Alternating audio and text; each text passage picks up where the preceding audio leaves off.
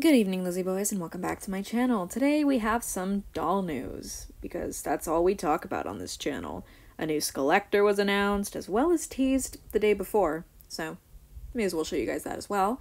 And stock photos of Howliday Draculaura have finally been released, because I'm assuming this doll was close to release, because people have been able to buy her from a reseller, but you know, they bought her.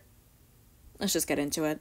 So first up, we have the Skullector, who was leaked through this post, kind of. It was implied, because she tagged Universal Original Monsters, and she saw The Bride of Frankenstein, and then this was posted today. So I'm counting this as a teaser before we got this teaser that actually shows the dolls. So if you guys remember, earlier this year, we received Dracula, who was the first Skullector of 2022 and was themed around the Universal Original Monsters, who are, you know, like just a group of classic monsters. I believe included in that group um, is Frankenstein, Dracula, the creature from the Black Lagoon, and the Wolfman, aka the werewolf. So, you know, I think that was the theme for this year, but because this year is coming to an end, I don't think we'll be getting the Wolfman and the creature from the Black Lagoon. There's always a chance they'll do it next year, but for now, no idea. So as we can see, um, Frankenstein is going to be a guy. You can tell because he has very large hands. So unlike Dracula, who was gender bent, I believe this time we are going to be receiving our first male Skullector doll. And it looks like he's going to be pretty accurate to the way Frankenstein looks in the movies. So maybe we could expect them to use like the Manny slash Hezekiah body. I don't know just some kind of larger body to give him that classic Frankenstein silhouette. And it seems that the Bride of Frankenstein has the regular Monster High body as well as the clawed hands that both Rochelle and Clawdeen used, as well as the werecats on some occasions. So, there's not much to go off of here, but I'm very excited to see these dolls revealed, and you guys can expect another video from me when we get official pictures. For now, though, this is all we got. So, let's move on to the other thing. That's right, we finally have stock photos of Howliday Draculaura. I didn't feel like using other people's review photos to talk about this doll, so instead I waited for stock photos, and they came out faster than I expected. I don't know, usually it seems like we only get stock photos after, like, we've seen the dolls months in advance, pretty much. Because that's kind of what happened with G3. We started seeing them, like, in the middle of the summer, and then the dolls came out kind of in September. People were finding them in September, but they officially released this month in October, and we only got the stock photos like I think it was in September, like late September, we finally got to see the stock photos of the dolls. I'm not sure.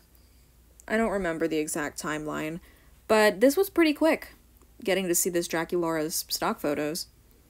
So, I don't believe the doll looks exactly like the stock photos.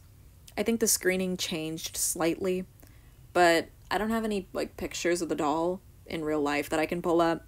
It's just that her face looks so different in the box than it actually looks here. So, now that we actually get to see all of her details up close, she looks incredible. I absolutely love the chest piece that they gave her. I don't know what to call that. It like it's like a necklace. I thought it was going over her shoulders. Okay. If it doesn't go over her shoulders, then it's not a it's just a necklace, I think like a really big necklace. Whatever it is, I really like it. I do wish that they'd painted the heart in the middle though, which is have made it stand out a bit more, but as it is, it looks great. I really like her earrings as well. They've got bat wings on them, and the little heart on her cheek is black with a spiderweb snowflake over top of it. So cute. I absolutely love the details of her dress. I like the silhouette of the doll. I really like the um, train on her skirt. Is that what it's called? Is that what it's called when you've got like that big long skirt piece on your dress? Like a train? A trail? I feel like train is wrong. uh, I don't remember. I really don't. I'm pretty sure that it is printed with snowflakes that kind of have a spiderweb look to them as well. Her dress as a whole looks really nice, and those gloves are so cute. I really just love everything that I'm seeing. I like the belt too. I feel like that really ties the dress and everything else together. And these shoes are so cute. Like, I do wish that they'd been kind of like laced up at the front. It would be a nice reference to Draculaura's basic doll, but I really like the design of the heels. It's super cute. Everything I'm seeing here, I just love it. I'm excited to see what else we're going to get from the Howliday line because it's been confirmed that there's going to be a Cleo and Deuce two pack under the theme of love. So, you know, it's probably going to be a Valentine's Day release, which means that we're most likely going to be seeing it very soon.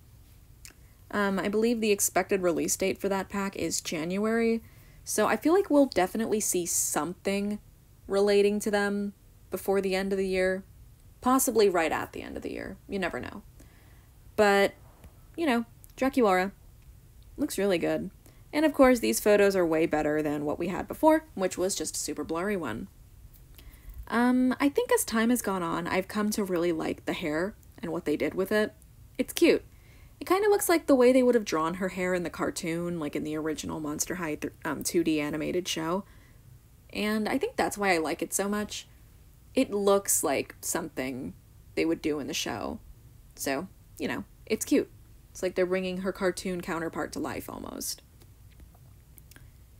Um, I wanted to say something about the box. It's a really cute design. I really like all the snowflakes and spider webs on the outside. I think it's actually kind of cool that they put the logo like right in the middle of the packaging. Some people didn't like that, but I think it's cool. Um, why do I think it's cool? I don't know. I think it just occupies more space. She's got these big empty spaces next to her. I think it would have been nice if she came with like a purse maybe an umbrella or something.